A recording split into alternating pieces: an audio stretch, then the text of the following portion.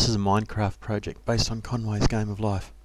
The Game of Life is an infinite grid of cells, and these cells follow some simple rules. Each cell generation depends only on how many neighbour cells it has. If it's too lonely or too crowded, then the cell dies. If it's exactly three neighbours, then a new cell is created. The idea is to experiment with different patterns. Some patterns are stable, but more interesting ones change and move or replicate. The aim here is to simulate a section of the cell grid using redstone logic. The tower here is the logic for a single cell in the game. It ends up being about 11 by 11 blocks and I think about 16 or 17 blocks high. I took a few falls building this and uh, had to mine nearly 500 redstone for it.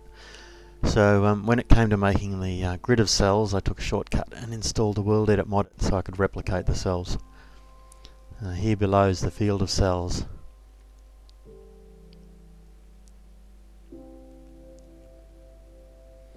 Between the cells runs a clock that triggers each update. It follows a kind of fractal pattern so that the path lengths are all the same and they all triggers, trigger simultaneously.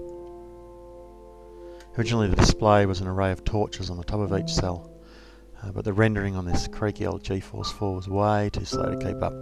So I ran the lines above the array to take the outputs to a small LCD display made out of trapdoors. And you can see that here. Here's a switch that enables the clock underneath us, so here goes.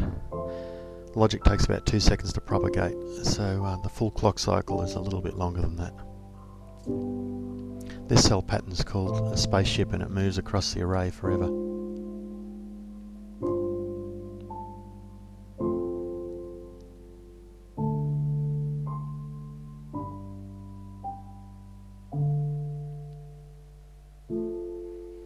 Because I've only got a small array of cells, the, uh, you get edge effects, and that means that this changes into another pattern called a glider, which moves diagonally back down across the array.